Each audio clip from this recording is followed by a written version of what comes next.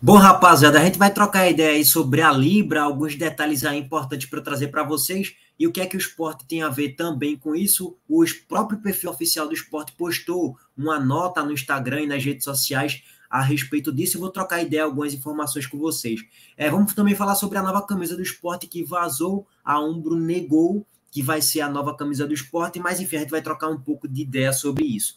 Primeiro, gente, sobre Fábio Carilli, tá? Acredite se quiser ou não, 21 dias depois, 21 dias depois de Carilli ser anunciado como novo técnico do Santos, ele já foi demitido.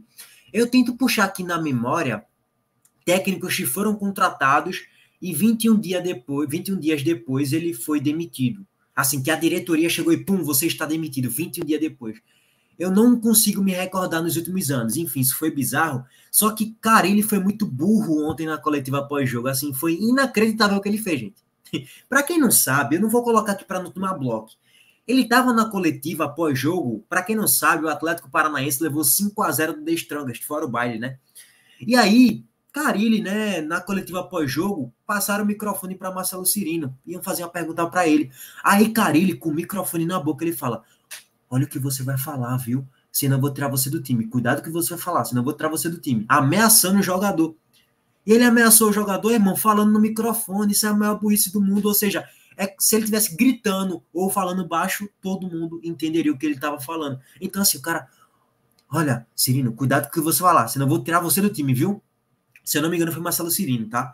É bizarro o que cara ele fez ontem. E aí levou 5 a 0 demitiram ele, né? Falta de planejamento, o Atlético Paranaense, que de fato é um modelo aí, considerado por muitos, um modelo a ser seguido, e de fato foi um clube que cresceu muito, títulos relevantes, é, tabela de classificação de Brasileirão normalmente permanece de forma tranquila, pré-Libertadores, Libertadores Sul-Americana, sempre está ali disputando competições internacionais, mas tá mostrando amadorismo. E aí se cogitou Filipão para Atlético Paranaense, irmão. é inacreditável. É inacreditável. Filipão, irmão, é um técnico obsoleto faz uns 5, 6 anos. E ainda tem gente que cogita esse cara para ser treinador de futebol. Esquece, acabou. Com todo respeito a Filipão, que ganhou o Copa do Mundo. Pá, legal, bacana, mas hoje, irmão, não dá mais. É muito fraco. E Carilho é um técnico fraquíssimo também. Teve alguns inscritos perguntando para mim, e aí, velho? Tu não queria Carilho no esporte, não? Caso da oposição já demitido na sexta? É... Não, é muito fraco é muito fraco. Eu não sei como é que ele fez esse, aquele time do Santos permanecer na Série A, não, tá? Esse agora que quase caiu. É porque o Santos jogando em casa, aí é, é time chato de ser batido, mas enfim, cara, ele foi demitido, gente. Não vamos passar muito tempo sobre isso, não, mas eu acredito se quiser, tá? 21 dias depois de o cara ser contratado, anunciado, já foi demitido. 5 a 0 fora o baile. Bom, convicção zero sobre o trabalho do treinador, é amadorismo mesmo da diretoria do Atlético Paranaense. Valentim, Carilli, contratar esses dois treinadores aí. Irmão, para um clube que disputa competições grandes internacionais, é muito pouco, tá? É muito pouco. E não tem nenhum perfil do Atlético Paranaense, na minha opinião. Mas, enfim, Carilli pelo menos não tem, não.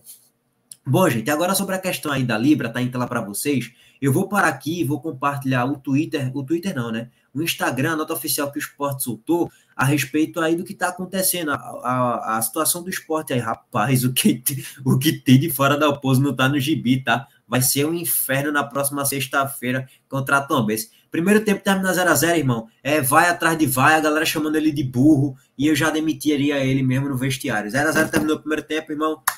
Suas malas. Se quiser, pode cumprir tabela aqui no segundo tempo, mas você é muito fraco. Bom, da Oposo tem muita probabilidade de cair na próxima sexta-feira.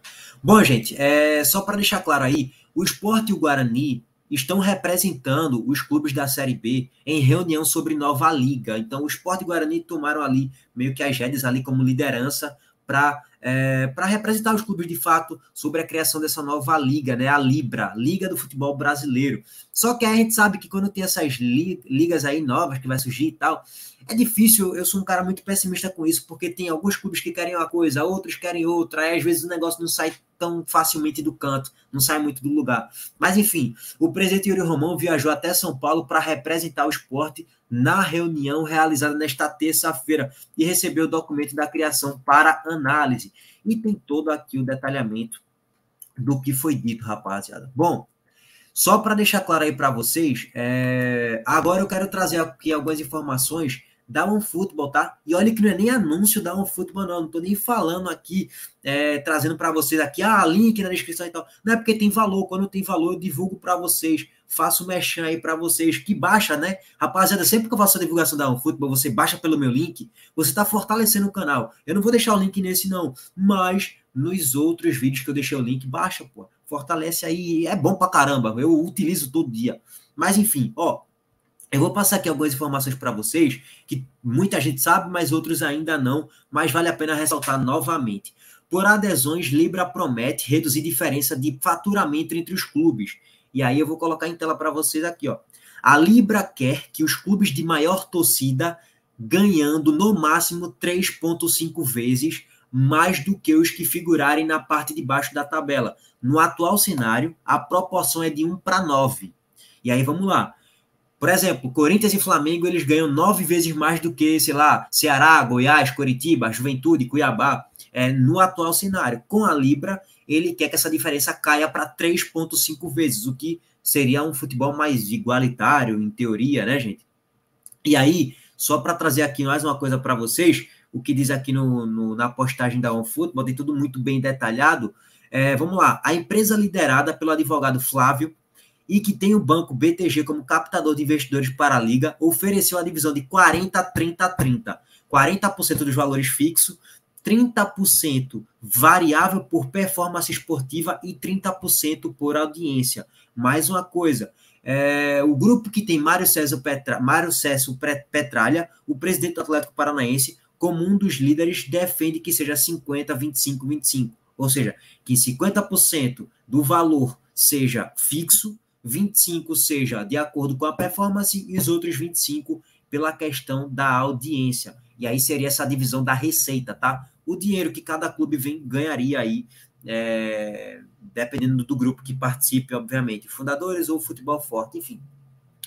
Tem todos os detalhes aí depois. Eu sou um cara muito pessimista, nem vou me aprofundar muito mais nisso, mas em tese seria bom, né? Em tese seria bem interessante. Bom, gente, agora eu quero trocar ideia com vocês a respeito da nova camisa do esporte. Nova camisa do esporte vaza por acaso. O uniforme lembra modelo utilizado na temporada de 2014. Camisa apareceu numa foto da gerente de marketing do clube, Marcela Malta. A Umbro nega que a camisa da foto seja nova. Tá aqui para vocês em tela a camisa, a gerente do esporte, a gerente de marketing do esporte, Marcela Malta, bonita por sinal ela é, postou aí tal, e, e, no fundo tem aqui a camisa do esporte, né? Que eu vou trocar aqui ideia mais com vocês, vou descer aqui mais um pouquinho, ó. Tá aqui a camisa do esporte, gente.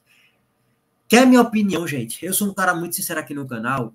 Eu estou muito frescurento com camisa, tá? Assim, por exemplo, essa camisa lembra de 2014, segundo a matéria do Globo Esporte. Outros vão lembrar de outros anos aí, de fato lembra. Lembra até essa daqui, ó, que eu vou colocar agora em tela para vocês Lembra até essa daqui também, ó. Ó. Essa daqui, acho que é de 2000 e nem lembro. 2010, é 2000. Lembro um pouquinho, nem tanto, vai, mas assim, onde é que eu quero chegar? Tomara que de fato não seja essa a nova camisa do esporte, porque eu não gostei, tá? Eu sou um cara que estou muito exigente, eu quero mais detalhes na camisa, é uma camisa muito básica, assim, não tem nenhuma novidade, não tem nada demais. E a gente ficou mal acostumado com a Adidas, né, que lançava cada camisa espetacular uma atrás da outra, e as listras um pouco mais é, finas, né, no caso, com mais listras. Eu nem condeno a questão de ter mais listras ou menos listras, até porque essa da Adidas, gente, essa aqui, por exemplo, ela tem poucas listras também, ó, se você parar para pensar. Ó, aqui, ó tem poucas listras também, mas é porque, sei lá, a Adidas deixou a gente mal acostumado e eu, quando o esporte lançou a camisa, eu sempre fico assim, cara, tem que ter algum detalhe, detalhes muito bons assim, listras e tal, para eu comprar, velho. Tô muito frescurento, não vou negar. Comenta o que, é que vocês acham. A Umbro já negou que não vai ser essa nova camisa do esporte. Eu espero que não seja de fato, porque eu não gostei particularmente. Respeito aí quem pensa o contrário, até porque camisa é algo muito, mas muito subjetivo. Beleza? Bom, gente, é isso. Deixa o like aí, te inscreve no canal e ativa o sino. Valeu!